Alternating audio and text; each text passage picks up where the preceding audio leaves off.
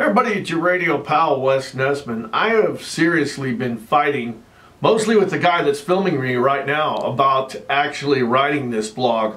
But what had happened was is some of my friends were actually friended by this other radio personality. And they, you know, just like when you see people in your friends queue, you just go, oh, okay, click, click, and you let them be your friends. And then all of a sudden, this ugliness starts showing up on their feed, and they kind of like, hey, Wes, did you see this? And I told them, don't give this guy oxygen, man. Don't, you know, don't even pay attention to him and maybe he'll go away. But unfortunately, the story was picked up by statewide news and it looks like it's about to go to national news. So I wanted to get out there for one reason, and that is to say this guy does not represent Lubbock. I want everybody in the state everybody nationwide, everybody in the world, and everybody in uh, the LGBT community to know that this isn't how Lubbock feels.